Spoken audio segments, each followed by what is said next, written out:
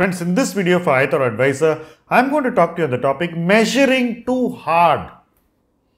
A lot of investors do a lot of measurement.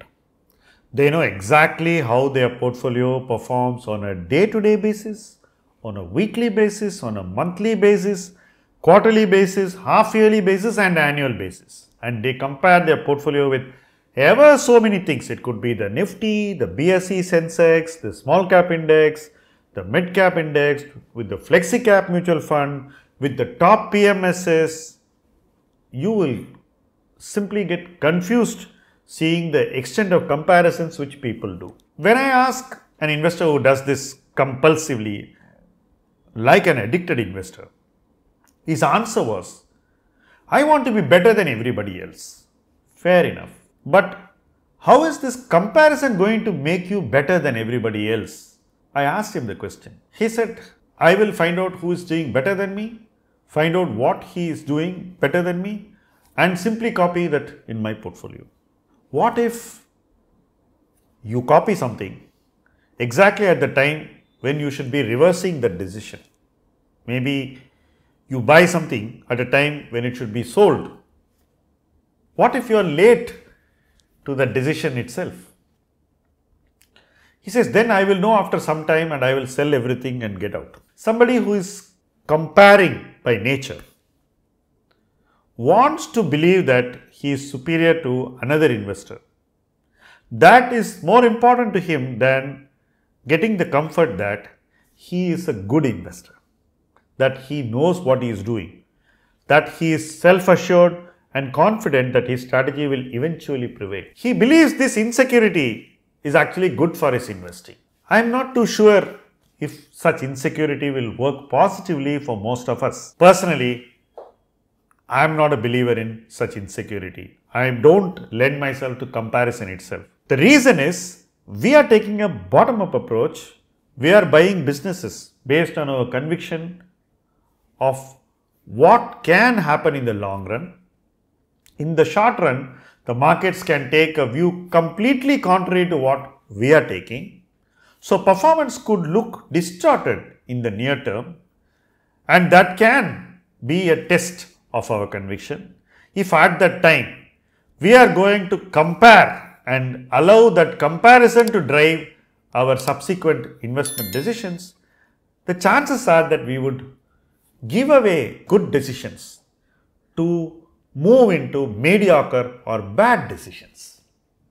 This eventually happened to some of my friends who are addicted to comparison.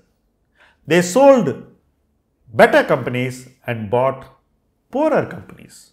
There is no escaping this because we lose patience exactly at a time when we should have abundant patience.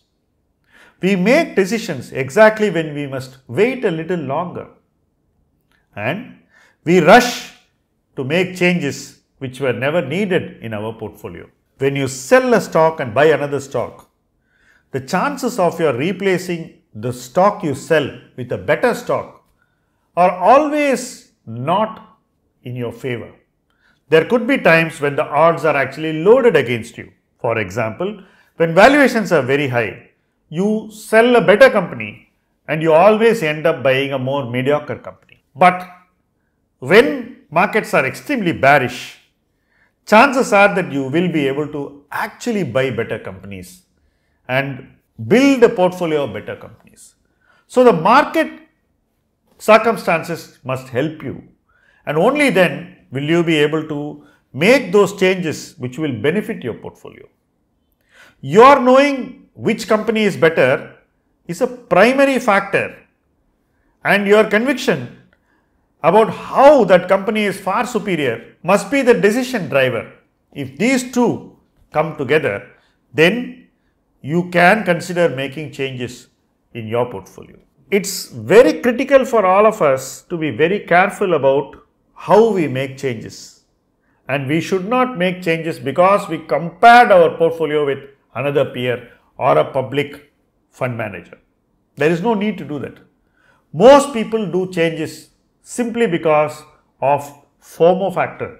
They want to own what others own. They don't want to miss out owning what popular investors own, what popular fund managers own. And that is how most of the stocks are purchased at valuations which are wrong or the wrong stocks are purchased at doubly wrong valuations.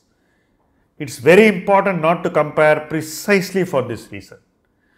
Appreciating what other investors do is one thing, but comparing it out of envy or jealousy and trying to ape another investor blindly just to get his investment performance is not a sound strategy in my belief. Every investor is entitled to his own beliefs. I just shared what is one of my important beliefs. Thank you for watching this video.